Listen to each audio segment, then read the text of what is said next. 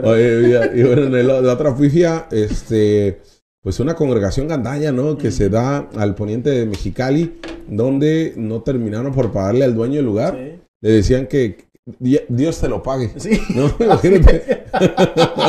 Que Dios te lo pague. No, es mucho dinero. No me lo va a dar. que, que es un millón y, y medio. 1.8 millones de pesos le termina. Casi dos millones de pesos. Vamos a escuchar a, a- a la persona afectada, que es un constructor, conocido constructor de, la ciudad. Y esto es lo que dice al respecto sobre el caso. Un pequeño fragmento vamos a poner. Hablando pacíficamente, a los últimos meses que no me contestó ya le subí un poquito de tono porque al final de cuentas soy ser humano y somos personas y, y no porque sea pastor voy a permitir que venga y lucre con mi fe y, y- y con el patrimonio mío y de mis hijos y de mi familia. Entonces yo por eso es que eh, me fui a las instancias correspondientes, le puse una denuncia por daño en propiedad ajena, la cual pues procedió porque al final de cuentas aquí estamos ahorita, eh, nos van a dar permiso de, de- de embargar aquí eh, lo que esté dentro de la iglesia, porque se comprobó que sí me hizo daños a mi patrimonio. Entonces, eso es más que nada lo que, lo, lo- lo que quiero yo exponer aquí. Y, y, pues ahora sí que tengan cuidado todos los cristianos, Y él lo dice el, el- el constructor, ¿no? Tengan cuidado porque están aprovechándose de la fe de las personas Sí. para no pagar, Villa. O sea, a, gusto, ¿no? Príncipes, ¿no? ¿Dónde Sí. estaban ahí? Eh, el, el constructor Armando Tanori, que es el que eh, pues reclama esta situación, porque lo que según lo que señalaba, porque la entrevista es un poco más amplia, señala que él como religioso le primero le prestó, digamos, por un tiempecito esta zona, este terreno ahí por la Laguna México, le dijo construye.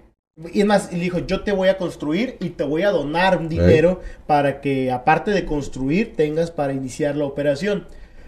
Y el, el representante de la iglesia, de nombre de Ezequiel Madrid, según no, Eleazar, perdón, Eleazar Madrid, según el, el- el pastor, eh, le dijo, claro, encantado de la vida que me des ese dinero, que me construyas y que me des todo para, para mejo- aumentar la fe, ¿no? ¿Qué pasó? Pues no le pagó nunca ni renta, él le Ah, causó daños y destrozos en el inmueble. eh, y cuando le dijo, oye, pues es que ya creo que debemos arreglarnos, ya está un poquito más encaminado esto, no te voy a pagar ni un peso. Y hazle como quieras y si me desalojas te vas en el infierno. Hazle como quieras, porque ahora ya Dios no te va a pagar. El diablo va a ir sobre ti. Cuídate en las noches. Sí, te va a jalar los pies.